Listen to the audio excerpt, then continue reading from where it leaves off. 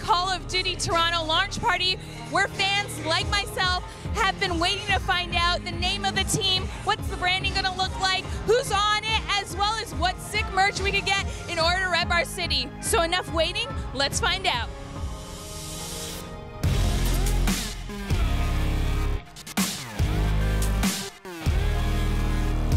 I'm here with Dominique, General Manager for Toronto Ultra. It is official. That is the name of the team. How does it feel to actually get it out in the open? Uh, it's really hard to keep a secret in esports, especially Call of Duty esports. So to be able to share this with the world and know that you know there's all of this work and blood, sweat, tears, excitement, and to finally just celebrate with this one big party, perfect way to start off the season.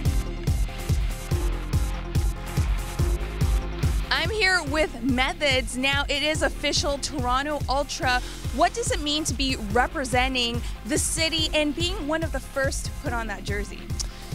Yeah, I think when this league was first announced, I definitely wanted to solidify myself on one of the upper echelon teams, and landing here, I think, is pretty much a dream come true. I don't think many teams have uh, a city like we do. I think there's only a couple that come to mind that can even compare, so I'm, I'm happy to be here. Uh, it means a lot. I mean, uh, I, was, I play for Splyce, which is obviously a part of the overactive media. So it's kind of I kind of knew I was going to probably lead into playing for Toronto, and I'm just glad that we were able to make it happen, and can't wait to represent the city. Walk us through what does it look like branding a team that represents not only the players but also the city. Yeah, so this team is incredibly diverse. Uh, you know, we have players from all over the world, all of the major regions. We speak more than a handful of languages on this team, and it's really great to have a team that really represents all of the, the values and inclusive nature that Toronto has to offer. Yeah. I'm here with Mayhem, who is the only Canadian on the team. How does it feel actually now putting on the jersey and being among the first to put on the jersey and being Canadian? Uh, for me, it's just like I don't really think much into it. You know what I mean? Because in Toronto, like we're all diverse, just like our team. So for me, I'm just glad I get to represent Toronto, and you know I'm just ready to play. I'm ready to get the season started. And you're from the UK, which is kind of like our parent country, right? So how familiar are you with Canadian culture, with Canada and Toronto? Not familiar at all. I'm familiar with similar weather, not as extreme, but I mean, I'm excited to try it. I'm, I'm ready to try some poutine.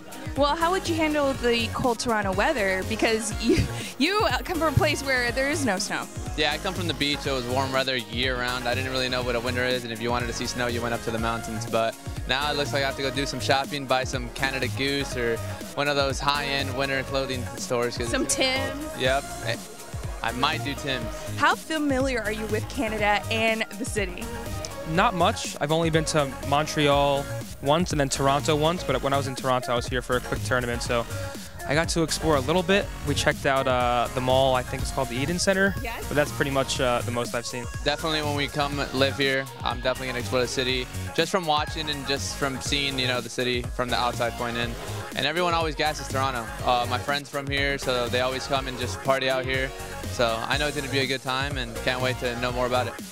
Going into this season, what are you and Toronto Ultra going to bring?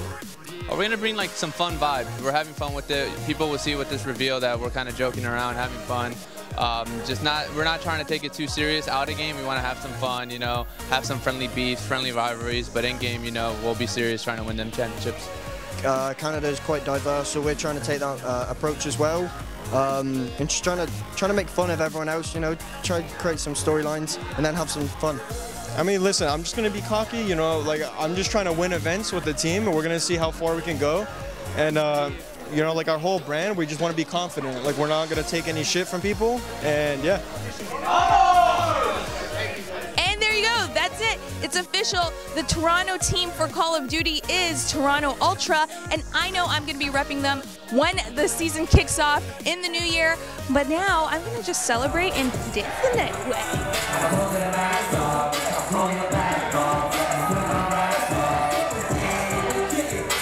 hombres